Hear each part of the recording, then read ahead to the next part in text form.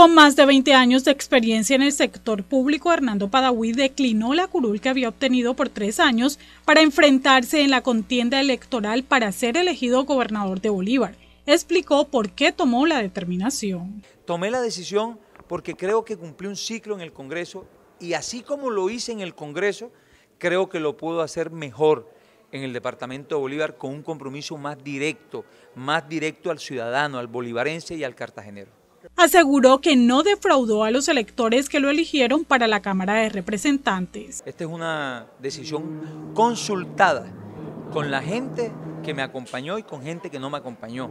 Yo fui a pedirles la autorización y, y consulté con mis electores. Y creo que hay una gran oportunidad desde el departamento, si así lo hice desde la Cámara de Representantes, donde creo que hay un ciclo cumplido. Sus intenciones no son de crear rencillas entre los demás contendores, por eso renuncia a... Renuncio también a las agresiones, renuncio al irrespeto, renuncio a la calumnia, renuncio a los juegos sucios que se hacen por las redes sociales cuando no se está de acuerdo con un candidato. No solo para mí, sino para los demás candidatos, hay que respetarlos.